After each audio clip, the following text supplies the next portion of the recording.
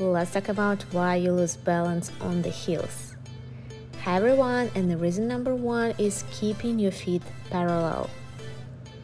Try to open the feet one foot to 11 and the other to 1 o'clock. Reason number two, weight transfer on a soft knee. Even if you dance American rhythm, in the end of the day you need to lock your knee back.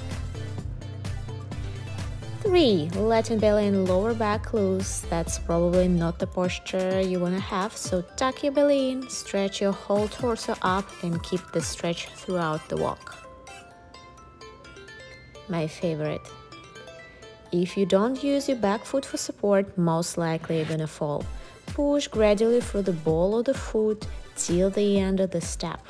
Keep your toes pressed into the floor. Reason number five, pushing hips past your foot and torso. We're all gonna have a great hip action, but please keep it under your torso, don't push it past your forward foot. Let me know if you have any of these mistakes.